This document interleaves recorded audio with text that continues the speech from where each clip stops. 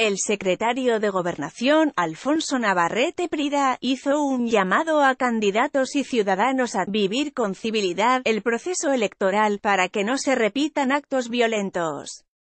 En conferencia de prensa comentó que la Secretaría de Gobernación tuvo conocimiento de un manifiesto escrito por la Coordinadora Nacional de Trabajadores de la Educación, CNT, en el que le advertía a un candidato a la presidencia que no era bienvenido en su territorio y que tratarían de boicotear un acto de campaña, situación que le fue señalada al gobierno de Oaxaca y al equipo de campaña.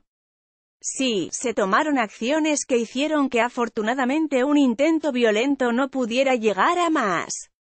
Y ojalá este tipo de acontecimientos no ocurran y que tengamos un proceso electoral en las mejores condiciones para nuestro país que el tono debe de ser de propuestas, en una sana campaña electoral, aseguró Alfonso Navarrete, secretario de Gobernación.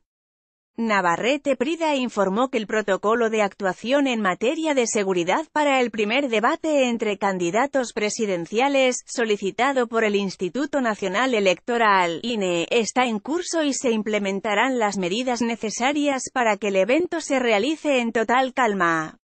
Previamente, señaló ante empresarios, líderes y autoridades fronterizas de Estados Unidos, que México es un país comprometido con el libre comercio y que sus autoridades trabajan con seriedad y buena fe, para lograr acuerdos productivos y benéficos mediante las modificaciones al Tratado de Libre Comercio de América del Norte, TLCAN. México es un país comprometido con el libre comercio y como ha dicho el presidente de la República, creemos en la apertura, creemos en la integración, creemos y aunque no queramos en la globalización como un vehículo del desarrollo, la oportunidad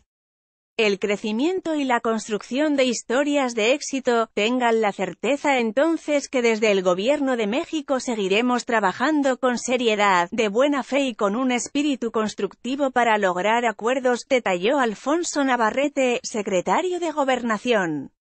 Participó en la tercera edición de la Misión Comercial México, California, en San Diego. También puedes leer, INE y Segov acuerdan protocolo para brindar seguridad a candidatos con información de Elizabeth Mavil Map.